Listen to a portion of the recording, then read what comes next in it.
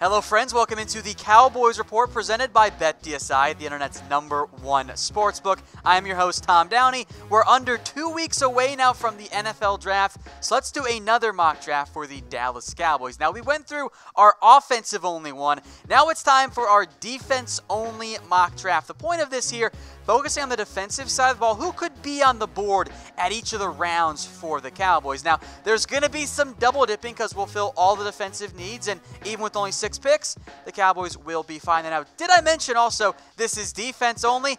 Even on the offense only one, we still had some comments about why you guys or why the Cowboys didn't take a safety. So we'll start things off round two, pick number 58 overall. Once again, no trades in this one. Now, for the Cowboys, these were the guys on the board as I did my summation that were notable players. Sean Bunting is there along with Trayvon Mullen, two guys that fit the Kris Richard mold at cornerback. Two safeties were left. Taylor Rapp was off the board. It was Juan Thornhill and my guy Darnell Savage. I'll make note, Jaylon Ferguson also there, but I really don't want him at pick number 58. After his agility testing, I don't think the Cowboys feel the exact same way on, on Ferguson as well. So I'll go with the guy I think the Cowboys are more likely to pick. That's Juan Thornhill. Safety's your biggest need right now, although biggest might be a bit of a misnomer because the Cowboys roster is in really good shape. But Thornhill is kind of he's got a little bit of Byron Jones in him in the sense that he's a freak athlete and has some safety cornerback position flex. Now, I kind of have some doubts about him in some short areas, but he played plenty in the box for Virginia, even though I think he might profile more as a true deep guy. But most importantly for the Cowboys, he checks off the two biggest boxes, I think, for the Cowboys and for myself ball skills, take a drink, producer Brett, and speed. If you have both of those things and you're not a disaster in terms of being able to actually cover guys, I think you'll make some success there. So I like the idea of pairing Juan Thornhill and Xavier Woods together. I know Thornhill's a bit more of a hybrid than, say, Johnathan Abram is, who was also off the board there for the Dallas Cowboys, but I think he makes sense, and we know the Cowboys have interest in him. They brought him in for a pre draft visit, one of the 30 they're allocated. So Thornhill pick 58, I don't know if he's actually going to be there, but I think he's one of the more likely options for the Cowboys, given that we're projecting a full 57 picks before they even get on the clock. As mentioned, today's show is brought to you guys by BetDSI, the internet's number one sportsbook. Head over to chatsports.com slash bet and use that promo code Cowboys120 for a 120% deposit bonus. They're going to have all kinds of NFL draft prop bets. You can make quite a bit of money if you follow me on Twitter at WhatGoingDowney. I did during the Combine. We'll do it during the draft as well. That's chatsports.com slash bet. Promo code Cowboys120. We'll move now to round three and a couple different very intriguing options on the board hill. Trysten Hill, who we mentioned in our in our pre-draft visits, along with Gerald Willis. We've mentioned Anthony Nelson before on the show as well. And then two intriguing cornerbacks, Jamel Dean and Isaiah Johnson. Now, I am open to any of these players off the board here, but I'm trying to do what the, I think the Cowboys would do. And if he's there at pick 90, I think Isaiah Johnson might be the guy. In fact, I'm not even going to rule him out all the way at pick 58. He is a textbook player for what Kris Richard wants to do. Super tall, super long, and ran a 4-4 40-yard dash. And oh, by the way, was a receiver originally. That's kind of what Richard Sherman ended up being. Now, Johnson needs still development and work. He's more of a take him on day two, have him learn for a year, and then he takes over a year later, which for the Cowboys, you can afford to do that. And look at pick 90, you're normally not going to find a day one starter. That's not how the NFL draft tends to work out. So despite his rawness, the upside's definitely there. Now, I don't necessarily want to spend a top 90 pick on a corner, but it does make some sense projecting ahead to 2020. Byron Jones, Anthony Brown are going to be free agents. After that, Chido and Jourdan Lewis are free agents, and there's not much depth. So, from a long term outlook perspective, cornerback makes some sense. And if you pass on one in round three from the simulations I've done and what I've heard from around the NFL, you're going to have a tougher time finding that type of freaky long athlete that Richard wants unless you really, really wait till round seven, round six. So should Dallas use an early round pick on a corner? Type 1 for yes, 0 for no.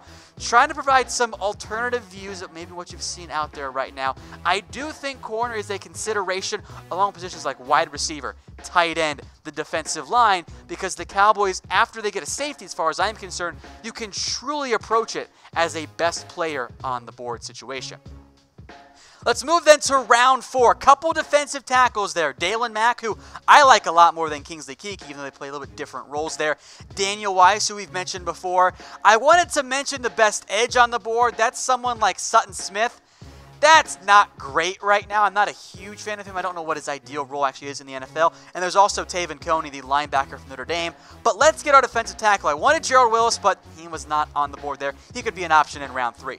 So I'm going to go back with Daniel Wise, who fits what the Cowboys typically like more defensive tackle than Kingsley Keke or even Daylon Mack. Wise is a little bit undersized, but he's more of a penetrator and more disruptive than those other players are. He's a three technique guy. So this fits into the common theme right now with defense.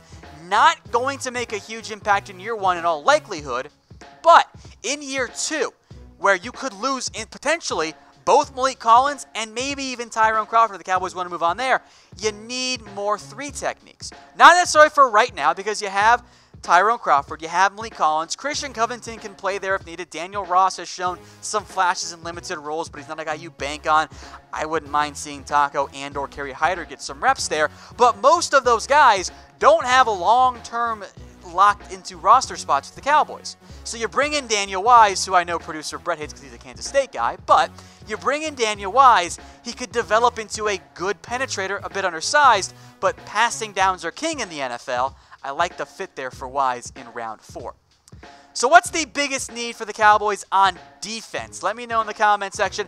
I figure most of us are going to say safety, but there are arguments for defensive tackle, for defensive end, and maybe even a long term cornerback as well. Move now to your other round four picks. Some players to go off the board, though. Sutton Smith is no longer there. Uh, Daylon Mack off the board, which I'm kind of upset by. Kingsley's there, but I don't want him, and I don't know if the Cowboys are willing to spend a top 150 pick on him.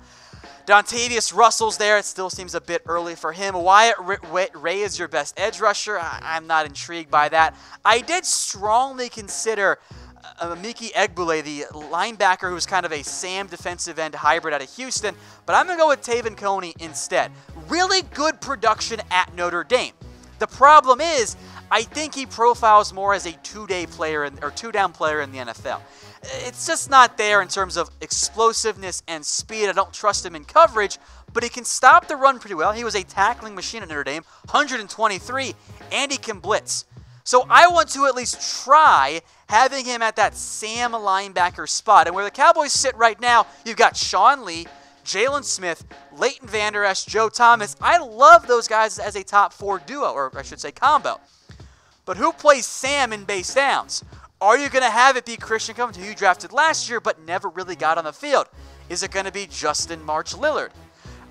I'd at least explore someone like Te'von Coney and see if he can become that Sam linebacker for you. Covington can still make the roster, but with Damien Wilson gone, in theory, there's room for one more linebacker on the roster. But with linebackers in general, it's not a great class. It does get a little bit dicey. All right, folks, mark your calendars for next Thursday, April 18th. As we've mentioned before, we're going to try the fan led mock draft. Could be a disaster, could be awesome. Who knows? Only way to find out, though, is to be subscribed to us on YouTube, youtube.com slash Dallas Cowboys Report. That'll be 4 p.m. Eastern Time, as it always is on Thursday, live here. A fan led mock draft. You guys make the picks. I'll throw out suggestions, but in the end, most votes wins for the Cowboys. So make sure you're subscribed. YouTube.com slash Dallas Cowboys Report. On to round five now. Dontavius Russell's still there. Khari Willis is also on the board, a safety, but I've already filled that need. I don't need a fifth one necessarily. So I'm looking at edge here. Three guys jump out to me. Carl Granderson, like the talent, uh, massive off the field issues right now. That's a no go for me. I don't hate the idea of Austin Bryant. I'm intrigued by it. But we've mentioned him before, and I think Jalen Jelks might fit the role for the Cowboys a little bit better. So I'm going to go with him here in round five. Long and lanky edge rusher who isn't the greatest athlete. That's the big concern there for the Cowboys. but he played out of position a lot at Oregon. He was almost an interior defensive lineman, and at his size, that made like no sense. So he's very much a project. He didn't improve as much as I would have liked to see him improve this year, but the tools are there for him to, to work with, and he can become a far lesser version of like a Dion Jordan or something like that. Obviously, the sack production is not there, but he's long. I think he can be a better athlete than he. I think the athleticism is better on film than it was in terms of testing. So for Jelks, look, it's late day three. You're taking shots here. Let's find an edge rusher. If you wanted Austin Bryant, I get that too, but I think he's a little bit lesser than many of those edge guys on the board, at least the guys from Clemson in particular. So I went with Jelks there in round two, or round five. almost said round two there. Wow. Round five, I think that's a good fit there for the Cowboys. Let's move then to round seven. So at this point, we've pretty much filled the needs. We got a defensive tackle, we've got an edge rusher, we've got a linebacker, a corner, a safety. So now we can go a bunch of different directions. Two guys the Cowboys brought in. Dre Greenlaw and Chris Westry. Westry's interesting, but he might be more of a UDFA target for the Cowboys, or maybe he is a round seven pick. Shareef Miller, who I don't mind, that could be an option there. Derek Roberson, I'm sure some of you Texas guys remember him. But I'm going to go with Greg Gaines. I like my big one techniques. Let's add some extra depth there. Now, maybe Gaines doesn't make the roster. Most seventh round picks don't, after all. But maybe he's a practice squad guy in year one. He can share uh, beard grooming tips with Travis Frederick, for example. Decent athlete for his size. He's going to be a one technique. He's never going to be a shoot the gap, do a three technique, whatever. Short arms, again, fits that one technique role. He's going to be a first and second down guy, but he is the classic one technique, like an Antwaun Woods, for example, who sticks around on an NFL roster and plays a role. It's not a big role, it's not a $10 million a year role, but it is a role that NFL teams still need, even in today's pass happy NFL.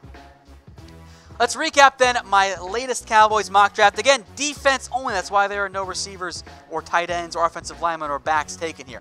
Juan Thornhill in round two. Isaiah Johnson in round three. That secondary now built very much in the Kris Richard uh, mold. Daniel Wise in round four. Te'von Coney in round four as well. Again, two fourth round picks for the Cowboys.